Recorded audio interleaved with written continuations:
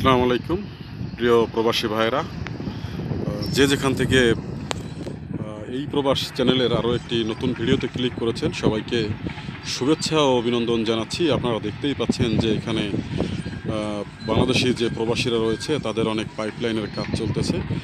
তো আমি সবার কাছে একটাই রিকোয়েস্ট থাকবে যে যারা আমাদের যে প্রতিনিয়ত যে প্রতিদিনের যে আপডেটগুলি দেখে থাকেন ভিডিওতে লাইক, কমেন্ট, শেয়ার করবেন। আর আপনি যদি আমাদের চ্যানেলে নতুন হয়ে থাকেন অবশ্যই আমাদের চ্যানেলটি সাবস্ক্রাইব করে করে আমাদের সাথে থাকবেন এবং আপনি যদি অলরেডি আমাদের চ্যানেলের সাবস্ক্রাইবার হয়ে থাকেন, তাহলে আপনাকে অসংখ্য ধন্যবাদ।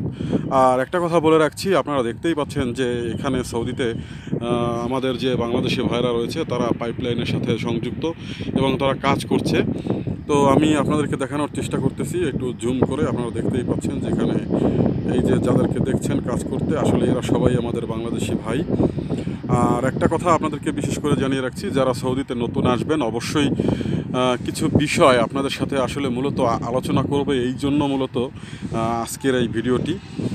আপনারা যারা সৌদিতে নতুন আসবেন, অবশ্যই আপনাদের যে প্রফেশন আপনাদের যে যে আপনি যে কোন পেশায় আসতেছেন, এই জিনিসগুলি আপনারা প্লিজ খেয়াল করে তারপরে সৌদিতে আসবেন। আর আরও কয়েকটা বিষয় আমি বলে রাখছি, যেটা হচ্ছে আপনার যখন সৌদিতে আসবেন, আপনার যে মালিক, আপনার যে কফিল, যিনি এই এইখানের ভাষায় যাকে কফিল বলা হয় তার সকল কাগজপত্র আছে কি না এইসব বিষয়গুলি প্লিজ একটু জেনে বুঝে তারপরে সৌদিতে আসার চেষ্টা করবেন। আর বিশেষ করে একটা বিষয় আমি আপনাদেরকে বলে রাখছি যেটা হচ্ছে এখানে কিন্তু আপনি চাইলেই এসে যে কোনো কাজের সাথে যুক্ত হতে পারবেন না। একটা বিষয় যেটা হচ্ছে কাজের সাথে যুক্ত হতে হলে কিন্তু আপনাকে অবশ্যই আপনার যে কফিলের আহ, বিভিন্ন ধরনের কাগজপত্র চেম্বার সিআর মকিম ব্যান্ডার কোর্ট এইসব কাগজপত্র থাকা দরকার হয়। তো এইগুলি আপনি অবশ্যই জেনে জেনে তারপরে আসবেন। আর যেভাবে জানবেন, আপনার বিষয়টি হয়তো কোনো সৌদি বা কোনো কোম্পানি সরাসরি কিন্তু আপনার হাতে পাঠাবে না। তারা বিশেষ করে আপনার যে কাগজপত্রটি আপনার যে কাগজপত্রগুলো দরকার হবে, এইগুলো কিন্তু আপনাকে যখন ভিসা পাঠানো হবে, হয়তো আপনার সেই বিষয়টি আপনার কোনো প্রতিবেশী ভাই, বাবা, কেউ না কেউ তাদের কাছ থেকে কিন্তু কিনে নিয়েছে। তো তাদের কাছে জিজ্ঞাসা করলে কিন্তু এইসব বিষয়গুলো আপনি জানতে পারবেন যে তার সকল কাগজপত্র আছে কিনা বা তিনি কোন এলাকায়।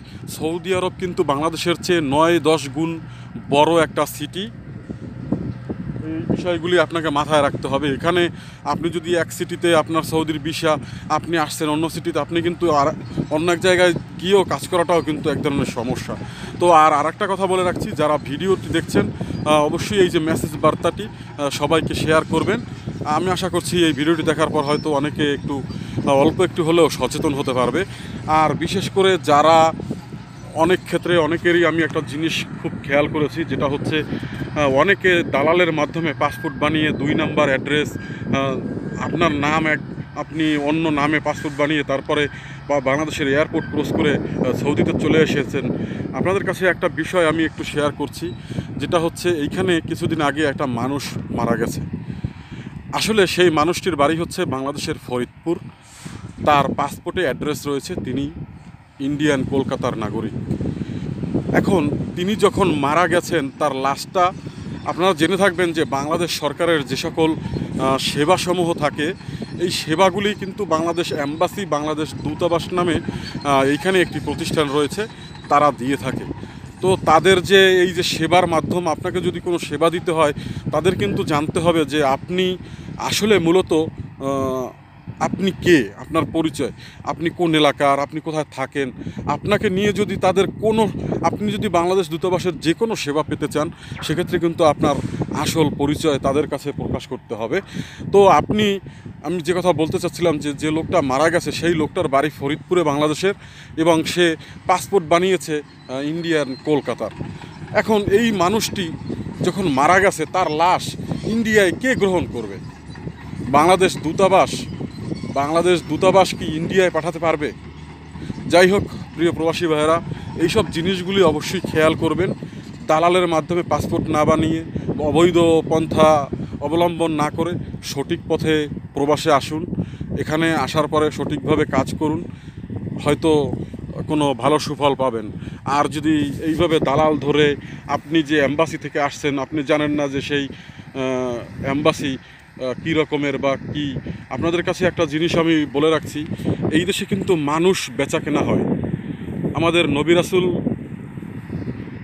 যে সময়ে এই আরব আমিরাতে তারা জন্মগ্রহণ করেছিলেন, সেই সময়কালীন থেকেই কিন্তু এই দেশে মানুষ বেচা কেনার একটা হাট রয়েছে, যেখানে মানুষ একজনে আরেকজনের কাছে বিক্রি করে।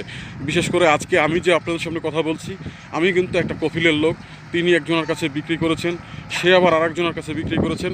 এরকম এক হাত, দুই হাত, তিন হাত, চার হাতও এভাবে পরিবর্তন হয়ে যায়। তো এইসব বিষয়গুলি আপনারা মনে রাখবেন যে এই মানুষ বেচা কেনার শহরে আপনাকে কীভাবে চলতে হবে, এই বিষয়গুলি অবশ্যই মনে রাখতে হবে। আর বিশেষ করে ভিডিওটি সবার সাথে শেয়ার করবেন।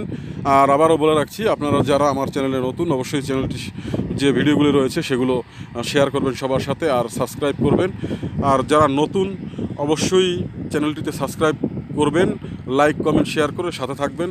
ভালো থাকবেন, দেখা হবে ইনশাল্লাহ এরকমের নতুন নতুন সব আপডেট নিয়ে আবার।